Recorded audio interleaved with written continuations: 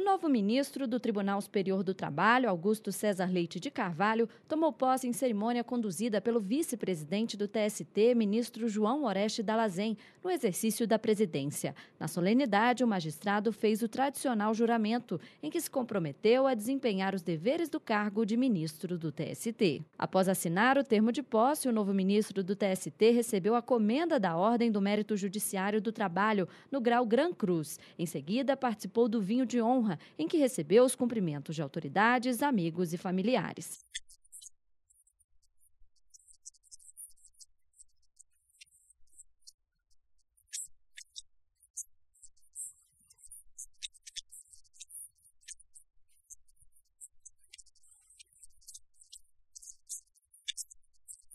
Augusto César Leite de Carvalho assumiu a vaga deixada pelo ministro aposentado Rider Nogueira de Brito. Ele vai integrar a seção 1 especializada em dissídios individuais e a sexta turma do TST.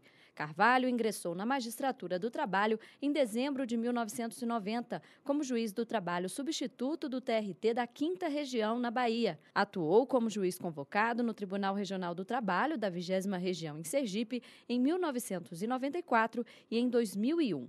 Foi promovido ao cargo de juiz do trabalho em maio de 2003 e assumiu a presidência do TRT da 20 Região no biênio 2004-2006.